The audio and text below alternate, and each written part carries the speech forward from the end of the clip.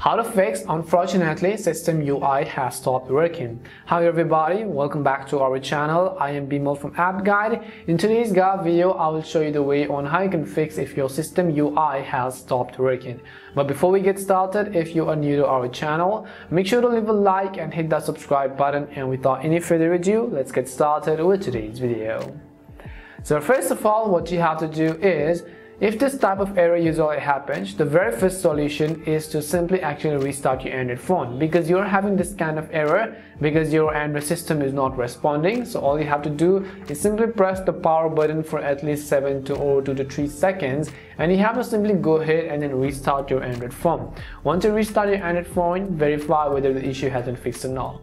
The other reason why this is also likely possible is because you have been using third-party launchers or apps.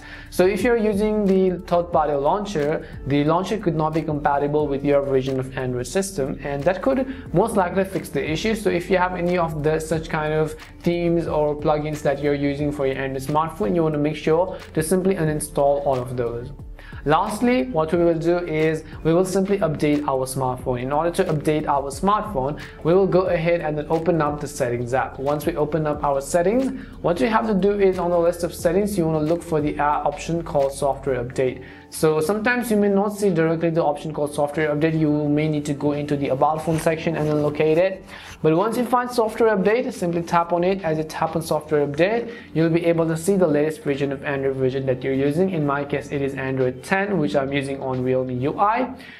If you have, let's say Android 12, if you've gotten the Android 13 update as well, you could simply go ahead and then update it to those versions.